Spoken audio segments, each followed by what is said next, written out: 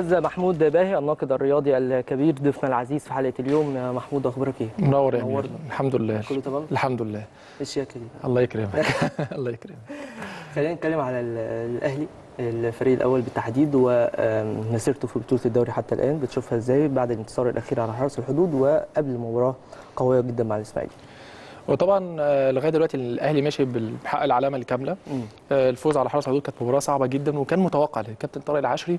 آه، ده أسلوب لعبه وطريقة لعبه اللي هو الدفاع المتكتل بشكل كبير جدا. حقق نتائج كويسة قصاد فرق قوية زي المقصه وزي الإسماعيلي. كان بنفس السيناريو حتى كل الفرق اللي لعبت معاه عانت من نفس المعاناة. المشكلة إن الجماهير دلوقتي أمير إن هي عايزة الأداء المثالي والنتائج المثالية في كل حاجة. يعني أداء ممتاز ونتيجة 3 4 0 والكلام ده كله. ده مش هيتحقق لك. مم. ممكن يكون المنافس أفضل منك زي ما قلنا قبل كده ممكن يكون المنافس عنده أدوات بتحد من من من حالتك ممكن. أنت كفريقك يكون مرهق بدنيا.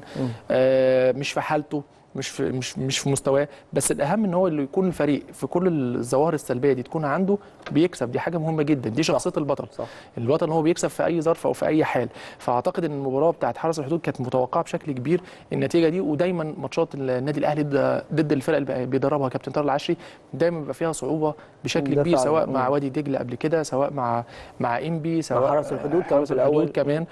قبل كده كابتن طارق العشري سبق ليه إن هو كسب النادي الأهلي في نهائي بطولات كأس مصر والسوبر. مم. برضه مع جيل قوي جدا للنادي الأهلي فطارق العشري اسم كبير برضه في الدوري المصري أكيد. واسم ليه خبرة كبيرة ومباراه كانت تقيلة وكانت من المحطات اللي هي الصعبة جدا البعض بيلوم على الكابتن طارق العشري الطريقة اللي لعب بيها في المباراة هل اللوم ده منطقي يعني مدير فني شايف إن هو ممكن بقلل الإمكانيات مثلا أو بطريقة اللعب المعينة دي يخرج بنقطة مثلا من النادي الأهلي. فتبقى حاجة إيجابية بالنسبة له يعني. آه بص يا أمير هو كل مدرب شايف مصلحته إيه بي أو الطريقة هو حر في الطريقة اللي هو بيدير بيها الفريق.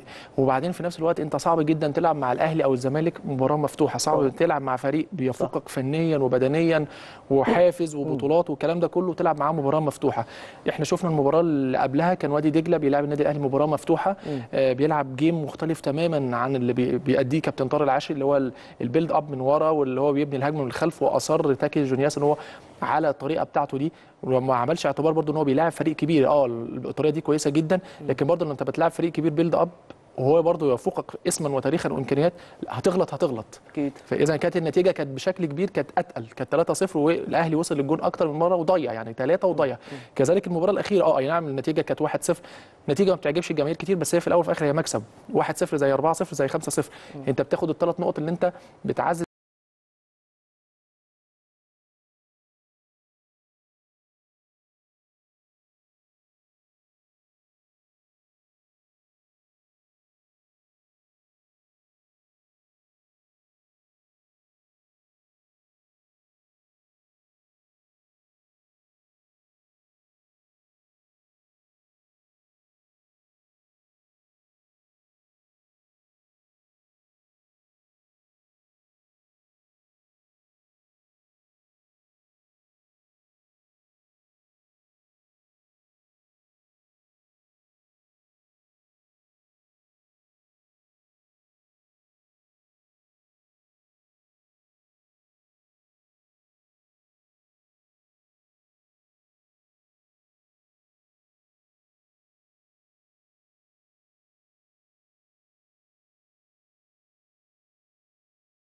إعادة بناء لشخصية حرس الحدود اللي كان من فترة من الفترات كان بيبقى منافس قوي وكان بيحقق نتائج قوية جدا ضد الأهلي والزمالك بل كمان فاز ببعض البطولات.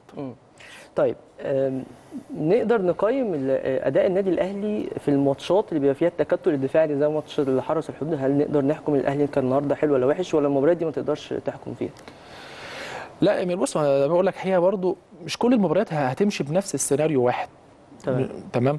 آه في تكتل دفاعي لكن انت برضو في نفس الوقت انت وصلت المرمى حرس الحدود في فرصتين في العارضة. اي نعم كم الفرص اللي كانت للأهلي المتاحة؟ مش كتير بشكل كبير لكن انت برضو عندك الفرقة ما بتلعبش بالقوام الرئيسي الكامل عندك في أسلحة برضو اتبدلت عليك في المشوار. عندك حمدي فتحي أصيب لعيب في وسط الملعب. خسرت سلاح مهم جدا. عندك الباك الشمال علي معلول من أفضل لعيب الدوري الموسم. الماضي إن لم يكن أفضلهم. وكان ليه دور كبير جدا في تتويج النادي الأهلي بلقب الدوري. مش موجود. آه محمود وحيد موجود وبيأدي وكويس بس برضه يعني لسه ما جابش الايه الفورمة الكاملة بتاعته. ما تقدرش تحكم على اللعيب بقاله مثلا شهور بعيد عن المشاركة وهتحكم عليه بعد ثلاث أو أربع ماتشات. فاذا أنت برضو عندك عناصر قوة لسه بتعمل إيه زي بتعمل repair للفرقة. يعني أنت بتعمل إعادة تدوير للفرقة فقدت مركز أو اتنين في الملعب ومركز مؤثر جدا اللي هو الظهير الأيسر من أفضل لعيبة عندك.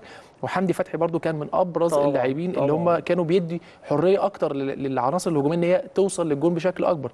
آه غيرت مراكز بعض اللاعبين وده برضو هيأثر شوية على شكل الأداء وهياخد وقت لغاية ما تتأقلم على الطريقة دي. إحنا دلوقتي بنشوف مجدي قفشة هو لعيب الوسط المدافع التاني بجوار عمرو السولية. بنشوف وليد سليمان في قلب الملعب كان الأول من ضمن الأسلحة البديلة اللي كان بيعتمد عليها فايلر في في بداية الموسم. لكن دلوقتي في تغيير في بعض المراكز فطبيعي هيحصل هزة شوية هزة فنية مقبولة مش يعني مش هزة كبيرة يعني بنتكلم إن هو هيبقى في تباين يعني مش هنقول مثلا مش هيفضل. المستوى ثابت يعني على. طول في حتى لو انت آه حتى لو انت ممكن تكون في حالتك ممكن تكون كل الركائز دي موجودة آه. وتخسر بقى عادي عادي، آه. المشكلة يا أمير دلوقتي الجمهور مش قابل الخسارة مش. هو عنده فكرة إن أنا لازم أكسب بأي شكل وبأي أسلوب ومفيش أي اعتبار للمنافس اللي قدامي ده ممكن يكون أحسن مني أو ممكن يكون موفق عني ممكن يكون ح- الحظ برضو في كرة هو القدم جمهور وارد الأهلي دايما متعود على الفوز لكن في نفس الوقت لازم نكون منطقيين شوية إن أنت وارد تقابل فرقة قوية فرقة تقدر تتفوق عليك حتى لو أنت أحسن منها فنيا وهي دي الكوره في الآخر ده طبيعي يعني. بالظبط آه. هو- لأن أنت دلوقتي بتلعب 11 ضد 11 معلش مع. احترامنا ما بتلعبش تقسيمة أو ما بتلعبش ضد كراسي لا بقى برضو في لعيبة تانية بت... آه، كل أملها إن هي تطلع بنتيجة إيجابية ضد الأهلي ده بالنسبة لها ممكن تلخص الموسم كله إن إحنا كسبنا الأهلي أو تعادلنا مع الأهلي أو عطلنا الأهلي أو ضيعنا الدوري من الأهلي ده في حد ذاته بيبقى هدف كبير جدا لانديه تانية. طيب عايز آخد رأيك في اتنين من اللعيبه عمرو السولية وأحمد فتحي. على مدار الفترة اللي فاتت كلها يعني بتقيم الاثنين دول إزاي بالذات يعني؟ آه، عمرو السولية من العناصر اللي هي برضو ثبتت أقدامها بشكل كبير في في تشكيلة النادي الأهلي. آه، مع مرور الوقت بقى أكثر ثقة أكثر اداء أكثر فنيا. برضو لكن في نفس الوقت يا أمير حتة وسط الملعب بتاعه النادي الأهلي برضو حصل فيها إحلال وتجديد بشكل كبير آه. بشكل كبير. يعني أنت الأول كان عندك ركيزة حسام عاشور. دلوقتي هو موجود في الفرقة بس برضو أنت بتعمل إعادة تدوير للمركز ده. كان جم... كان في موجود حسام غالي. كان برضو في عناصر خبرة تقيلة. دلوقتي أنت بتعمل إعادة بناء لمنظومة الوسط في النادي الأهلي. بقى دلوقتي في عاشور آه، موجود في النادي الأهلي لكن هو برضو من الأسلحة البديلة أو عناصر الخبرة اللي هيتم اللجوء ليها في أوقات معينة. كان في حسام غالي اعتزل. دلوقتي انت عندك آه، مجدي قفشة أو مجدي قفشة برضو مش مركزه. انت عندك دلوقتي حمدي فتحي وعمرو السولية برضو عناصر بإيه؟ بتتولف مع بعض من أول وجديد. فده برضو هياخد وقت. لكن أداؤه بشكل عام أنا شايف إن هو كويس جدا. يعني عمرو السولية لمسته الجمالية كويسة بشكل كبير. عنده كمان لعيب مؤثر. طبعا. عنده كمان الفعالية على المرمى كتير شفنا الموسم اللي فات سجل أكتر من مرة وبيشارك كمان في صناعة الهجمات وتمرير كله طولي. بالنسبة للكابتن أحمد فتحي بصراحة هو خارج محل التقييم. يعني ما صح. أنا يعني. يعني هو تاريخ كبير. أنا أقل إن أنا أقيم أحمد فتحي راجل كسب بطولات مع النادي الإسماعيلي ومع النادي الأهلي ومع منتخب مصر. تقييم في المرحلة دي بالتحديد لأحمد فتحي لأن دايما الكلام بيبقى عليه آه، كتير. وبالتحديد عايز أتكلم على ثبات المستوى على مدار ما شاء الله إلا بالله سنوات عديدة بالنسبة للاعب يعني. ده ده مثلا عشان كده بنقول هو بره كل التقييم يعني. النادي الأهلي عدى عليه بيسيرو مارتن يول جاريدو كتير. عدى عليه أسامي كتير. كابتن حسام البدري وقبله كتير كابتن عبد العزيز عبد الشافي وأحمد فتحي ما زال موجود. عدى على منتخب مصر مدربين كتار. كبيرة في الحقيقة. آه بالظبط. وأحمد فتحي كان بعيد في فترة من الفترات عن الصورة مع هيكتور كوبر ولعب كأس عالم صح. ولعب كأس أمم أفريقية. عشان كده كابتن أحمد فتحي برضه الناس لازم أن تحترم تاريخ اللاعب. أكيد. اللاعب ده ادالك 15 16 سنة. تمام؟ فلما يقع في ماتش أو اتنين مش مش مش نهاية الكون يعني. هو هو بصراحة الفترة اللي فاتت ماشي كويس جدا. لكن هو الفترة جداً. اللي فاتت من العناصر المهمه جدا. فايلر راجل بيلعب كرة سريعة كرة هجومية كرة قوية ومع ذلك بكرة إيقاعها سريع. ومع ذلك أحمد فتحي هو العنصر الأساسي اللي موجود في النادي الأهلي في مركزه. اللقطة دي بص اللقطة دي هو هو احتياطي في الماتش اللي قبل اللي فات. جاب حسين شحات عمل assist لأزارو وجاب جول وبص استقباله للعيبة إزاي في ال- الملعب يعني بعد آه. ال- الهدف. ما هو أمير من كباتن الفرقة لازم يحتوي لعيب زي يعني وليد بص, أزارو. بص الروح عنده عاملة إزاي حتى لو هو مش في الملعب. ال- ال- الحاجات دي بتبقى مهمة جدا في أي فريق في الحقيقة إحنا يعني. زي ما بنقول بالبلدي أحمد فتحي شبع. يعني أحمد فتحي حقق ما ما يحققه أي لاعب. في مصر حاليا يعني بس هو مش وحش هو الراجل بيكمل. وعايز يجيب بطولات تاني. لا يعني أنا أقصد يعني أنا أقصد يا امير الراجل إيه أنا فرحت كتير. آه. أنا هنا بقوم بدوري إن أنا يعني بساند زملائي بشكل معنوي لأن في مثلا لعيب بعيد عن المشاركة بشكل كبير في لعيب بقاله كتير ما بيسجلش. فأنا دوري ككابتن إن أنا أحتويه أقول له إن أنا في ظهرك. وعناصر الخبرة زي ما بقول لك مهمة جدا يا أمير. عشان طبعاً، كده. عشان كده دي عناصر خبره ساعات بيكون دورها حتى لو هي ما بتلعبش بشكل أساسي لكن وجودها مهم جدا. ان دي زي ما بنقول العكاز اللي الف- الفريق بيتسند عليه. آه أنت ما بتلعبش لكن أنا بوصل لك فكرة إن إن المكان ده إزاي إن هو بيلعب تحت ضغط دايما إن هو لازم تفوز في كل المباريات لازم تنافس على كل البطولات. أظن إن عناصر الخبرة ومنها كابتن أحمد فتحي وجودها مهم جدا وخارج محل التقييم بصراحة. أكيد. طيب عايز أتكلم معاك في شكل المنافسه على بطولة الدوري السنة دي وهل الملامح ابتدت تبان وهل ده ممكن يكون كلام منطقي لو حد بيقول مثلا الأهلي أقرب السنة دي لبطولة الدوري خصوصا بعد آه، إن الزمالك مثلا خسر امبارح أو مباراة أخرى كان خسرها ومباراة امبارح كمان طبعا الجيش. بتشوف إزاي الكلام في الجزئية دي بالتحديد في التوقيت ده؟ لا بص يا أمير أقول لك على حاجة. هو دايما ال- الأهلي وده مش تحيز يعني دايما هو الأهلي المرشح الأقوى لبطولة الدوري. حلو. تمام؟ كويس. آه لكن قصة إن هو الدوري انتهى من دلوقتي لا إحنا تعالى نرجع بالذاكرة لورا. زي اليومين دول الموسم اللي فات النادي الأهلي كان فين؟ ونهى الموسم فين مم. فدي برضو رسالة مهمة جدا إنك أنت مش معنى إنك مثلا متصدر الدوري لفترة معينة إن أنا كده ضمنت البطولة. أنت يا دوبك كل اللي لعبته حوالي خمس أو ست مباريات من أصل 34 جولة. فالمسافة كبيرة جدا.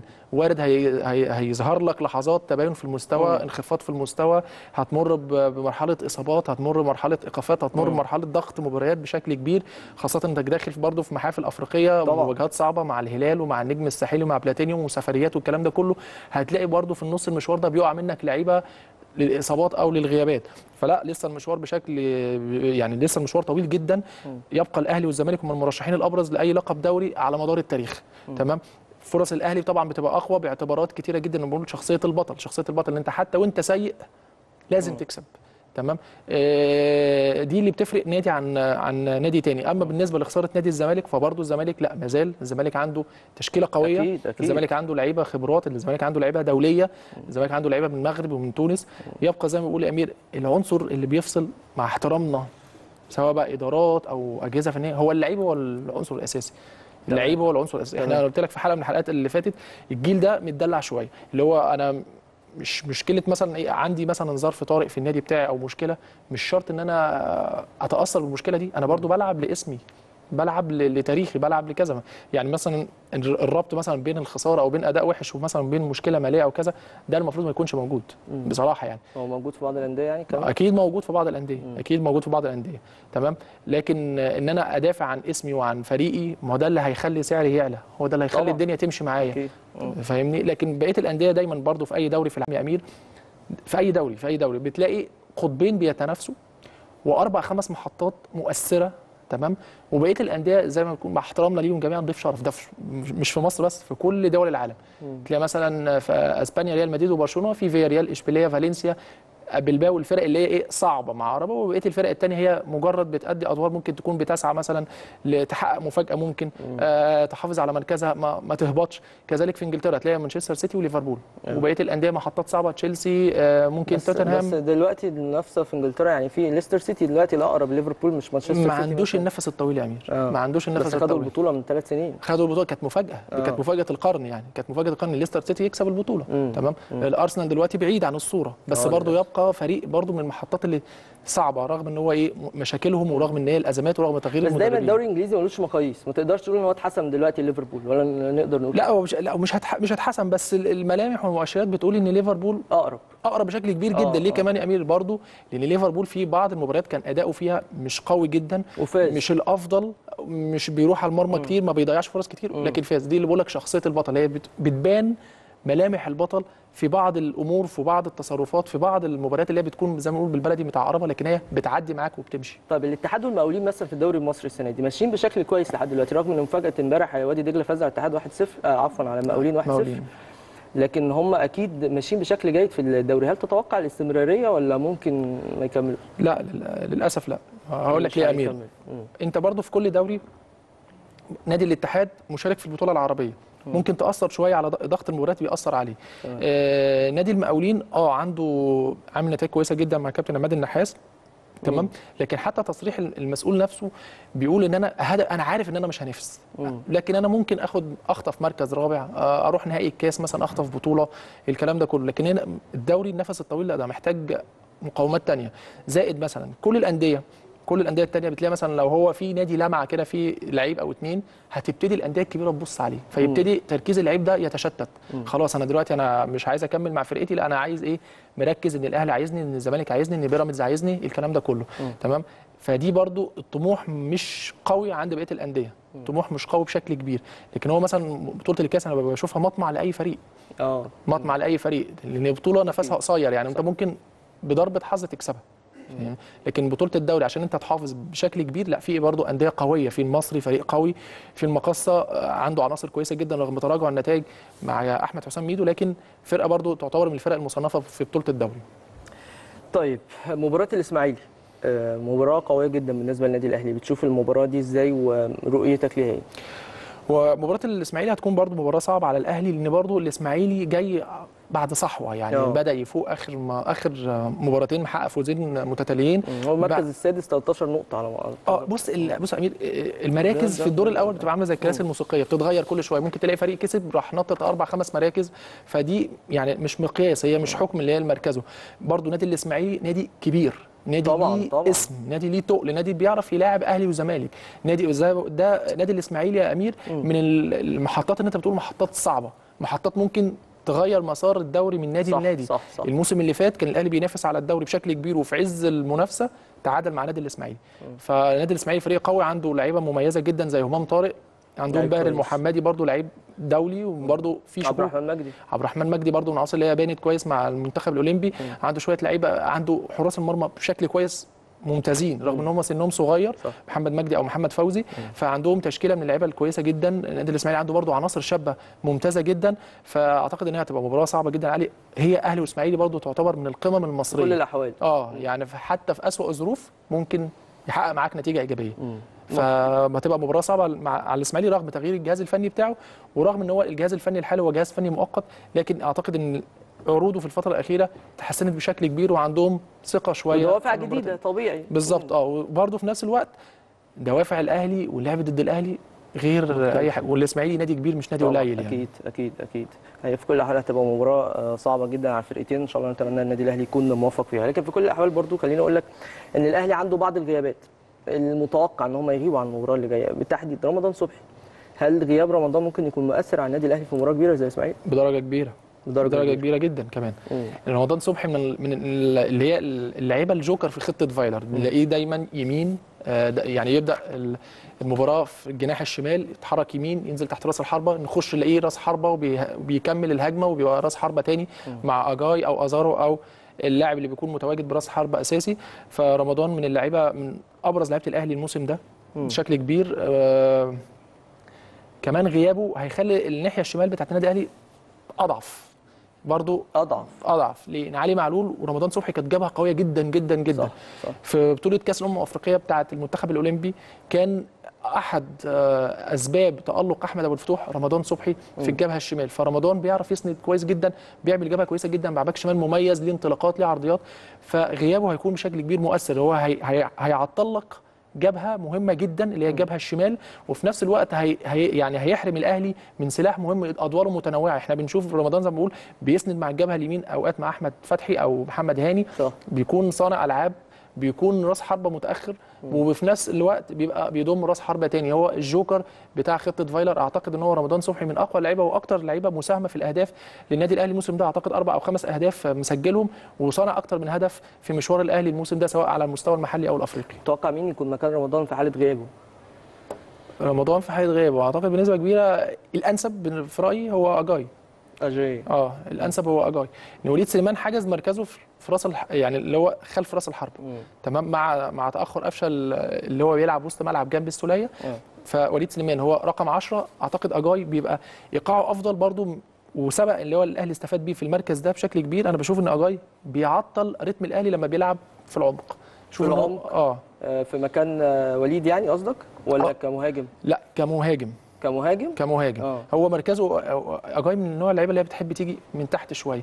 هو أي نعم رتمه مش سريع لكن برضو من اللعيبة اللي تقدر تعمل محطة هايلة جدا. بس هو في ماتش السوبر مع الزمالك كان عامل مباراة كبيرة جدا في المركز ده. هو مشكلة أجاي يا أمير إن هو يعني ملوش منحنى يعني أجاي ساعات تبقى هو النجم رقم واحد في الأهلي. آه. وساعات تانية تحس إن هو بعيد خالص. يعني تحس إن هو أول مرة يلعب في الفرقة. دي مشكلته. يعني هو ما عندوش وسط. ما عندوش مثلا 8 من 10 و9 من 10 لا هو عنده يا 9 من 10 يا 6 من 10 دي مشكلة كبيرة جدا فيه. في بعض الأوقات كان معدل التدريب بتاعه عالي جدا. لكن الفترة الأخيرة شايف إن أجاي يعني لا لسه في أحسن من كده يعني عنده أحسن من كده بكتير. لكن هو برضه من المحطات القوية جدا في النادي الأهلي.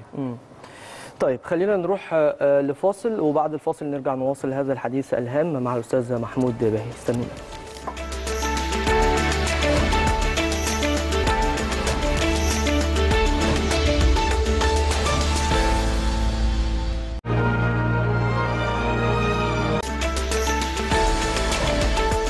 طيب توضيح بس مهم بخصوص رمضان. صبحي الناس بتتكلم على إن خلاص رمضان هيغيب. الأقرب فعلا إن هو هيغيب خلال الفترة اللي جاية. لكن رسمي لسه لما يتعمل فحوصات طبية للاعب في مران الغد يوم الأربعاء إن شاء الله هيبان أكتر مدة غياب رمضان هتبقى قد إيه. يعني الأولوية دايما في كل الأحوال لسلامة اللاعب. لكن المدة وكلام من ده هيبان بشكل رسمي وأوضح بكرة بإذن الله تعالى عقب المران والفحص الطبي اللي هيتعمل لرمضان صبحي. وإن شاء الله يعود آه، سريعا. طيب عايز أتكلم معاك في بعض الملفات المحليه يعني النهارده مثلا معايا من سوبر كورة حسام البدري بيطلب آه، إقامة مباريات المنتخب باستاد القاهرة. مدى أهمية تنفيذ هذا الطلب بالنسبة للمنتخب من وجهة نظرك؟ هو دلوقتي يا أمير يعني قصة برضو ملعب برج العرب وكان كان ملعب المنتخب في الفترة اللي فاتت يعني أكتر من حوالي 3 4 سنين. آه، يمكن الدنيا دلوقتي ملعب برج العرب الملعب اتقفل دلوقتي الإصلاحات والكلام ده كله. آه، استاد القاهرة أعتقد دلوقتي متاح أرضيته كويسة. كابتن حسام بدري يمكن عايز يخلي اللعيبة تتعود أكتر على الملعب. قصة برضه إنك تغير أكتر الملعب دي برضه بتعمل يعني أنت عايز تدرس أبعاد الملعب بشكل كويس. أنا أتعود إن أنا ده هيبقى ملعبي. زي مع كوبر كده كان ملعب برج العرب كان هو الملعب الأساسي لمنتخب مصر. فدي أعتقد هتبقى خطوة مقبولة.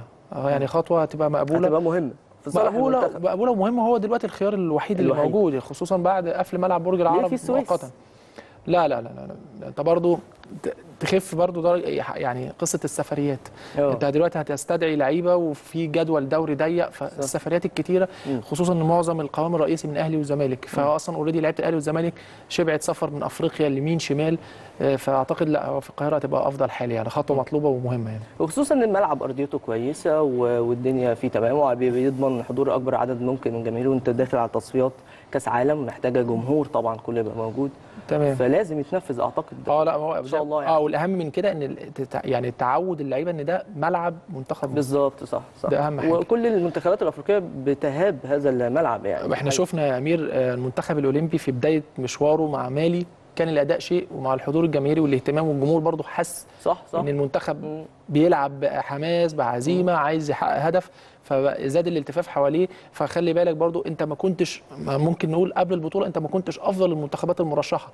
لكن مع الالتفاف الجماهير حواليك وإن اللعيبة برضو بدأت تح- تحس الملعب بشكل كبير لا شفنا عروض أفضل تحسنت مع مرور الوقت طيب برضو من ضمن طلبات كابتن حسام بدري يبقى في معسكرين قبل آه، تحدي مارس واولى المباريات في تصفيات كأس العالم شايف إن هنلاقي وقت الاتحاد هيلاقي وقت يوفر ليه الكابتن حسام بدري المعسكرين دول ولا صعب؟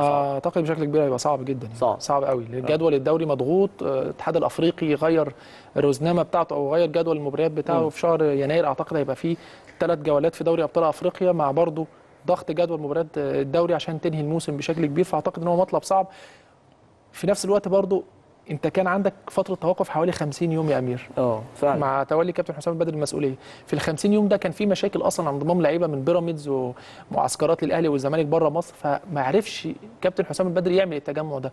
هيقدر يعمله والدوري اوريدي شغال فأعتقد هيبقى مطلب صعب جدا صعب. تحقيقه. مم. صعب جدا صعب جدا. زي ما بقول لك معظم القوام أصلا الاهلي والزمالك. الكابتن حسام بدري معذور. الراجل عايز يستعد بشكل كويس للتصفيات. ما هو بص يا أمير تدريب المنتخبات مختلف عن تدريب الأندية تدريب المنتخبات أنت بيجي لك لعيب المفروض في خلال 10 أيام.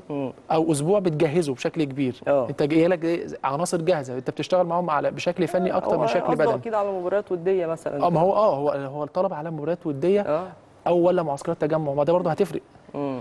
وسواء تجمع انت هت- هتوقف الدوري لمدة أسبوع عشان المنتخب يلعب. ماتش ودي اعتقد صعب جدا صعب جدا ما فيش أجندة دولية.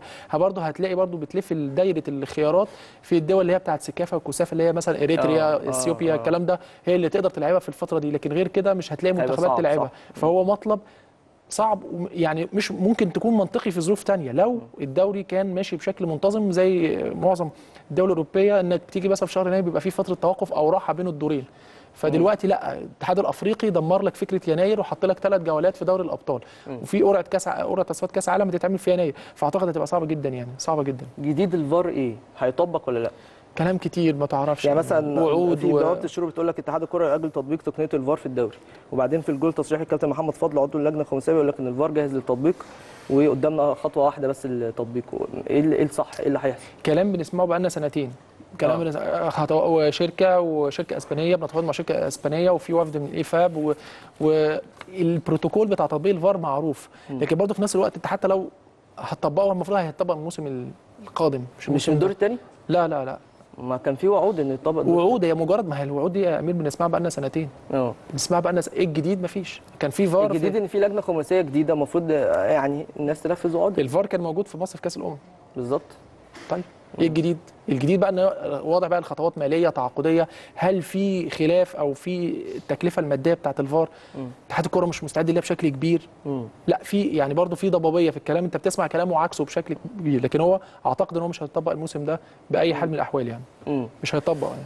طيب آه يعني متوقع إنه مش هيطبق لا لا لا مش هيطبق هي- ومش منطقي إن هو يطبق يا أمير. أنت بدأت الموسم بدون فار كمله بدون فار.